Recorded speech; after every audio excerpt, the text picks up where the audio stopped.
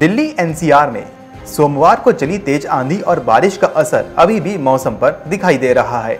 इसकी वजह से न्यूनतम तापमान में भारी गिरावट दर्ज की गई है और अधिकतम तापमान भी सामान्य से कम रिकॉर्ड हुआ है। ऐसे में भीषण गर्मी से राहत जारी है। आईएमडी के अनुसार बुधवार की शाम को एक बार फिर से मौसम में बदलाव होगा।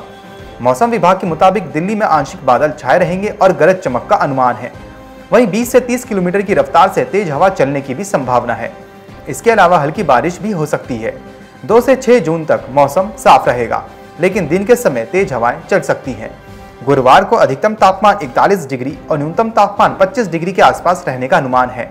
हालाँकि, एक सप्ताह तक लू चलने के आसार नहीं है। इस दौरान गर्मी का सितम बढ़ेगा।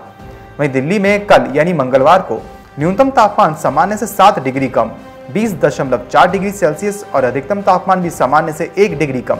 उनतालीस डिग्री सेल्सियस रिकॉर्ड हुआ। हवा में नमी का स्तर चौंतीस से इकहत्तर प्रतिशत तक दर्ज हुआ। वहीं दिल्ली में आज, यानी बुधवार को अधिकतम तापमान 40 और न्यूनतम तापमान 24 डिग्री सेल्सियस रहने की संभावना है और आसमान में बादल छाए रहेंगे। और गरज चमक के साथ बिजली भी चमक सकती है, हल्की बारिश भी हो सकती है। नोएडा की बात की जाए तो नोएडा में अधिकतम तापमान छियालीस डिग्री सेल्सियस और न्यूनतम तापमान सैंतीस डिग्री सेल्सियस रहने का अनुमान है। मौसम साफ़ रहेगा। वहीं गुरुग्राम में अधिकतम तापमान बयालीस और न्यूनतम तापमान 26 डिग्री सेल्सियस रहने की संभावना है। यहाँ भी मौसम साफ़ ही बना रहेगा। वहीं बुधवार की सुबह दिल्ली में ए बहुत खराब श्रेणी में 315 दर्ज हुआ है। नोएडा में ए क्यू जबकि गुरुग्राम में 305 रिकॉर्ड किया गया है।